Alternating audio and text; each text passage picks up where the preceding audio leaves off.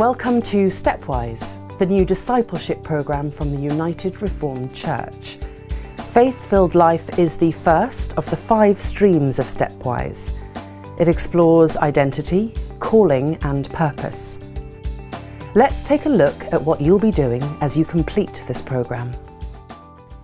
You'll be part of a locally based group. Meetings take place at times to suit the needs of the particular group, but usually once a fortnight. There are six sessions in Faith Filled Life, and generally there will be a group meeting or sometimes two for each session.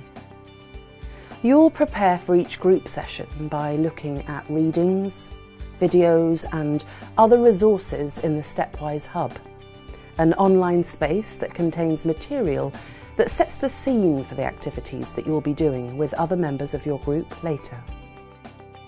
The material for each session is divided into things you will do before your group meeting, those you will do after the meeting, and optional extra material that you can look at if you want to learn more about anything you've talked about in your group session.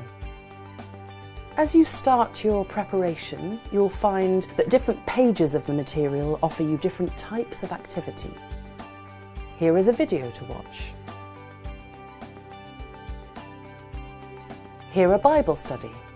Clicking on the name takes you direct to the Bible Gateway, where you can choose to see the reading in each of a selection of different versions of the Bible, even in different languages too. Once you've completed the preparation activities in the Hub, you'll meet with your group before returning to the Hub to do follow-up to complete the work of the session. The threads of what you're learning on your discipleship journey are woven together in a number of ways. Towards the end of Faith Filled Life, you'll do a group project that takes you outside the church and into your neighbourhood. You'll work with all the members of your group on this and later have a chance to reflect on how it went and what lessons you can take forward with your own church and community after you've finished Faith Filled Life. As well as being part of a group, you'll have a mentor who you'll meet with to talk about your individual experience of Stepwise. You'll meet several times and talk about different things. To help you focus your thoughts after each session, one of your follow-up activities will involve completing the spider's web. A fun way of mapping how you're thinking about the different aspects of discipleship as you go through faith-filled life. Each session will add another pattern to the web and by the end of Faith Filled Life, you'll have a picture of how the programme has developed your thinking and your discipleship. To help you reflect on your stepwise journey, you'll build a journal of your experiences, recording new ideas after each session. This might be a written journal, like Susie did or it may take some other form preferred by you and agreed with your mentor.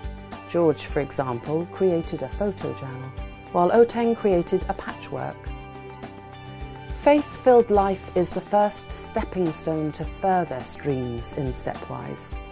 Once you've completed Faith-filled life, there you'll find a number of options available, either for more stepwise work or for other more formal training.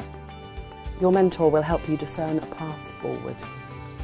So, now that you know all about Stepwise and Faith Filled Life, how do you sign up and join a group?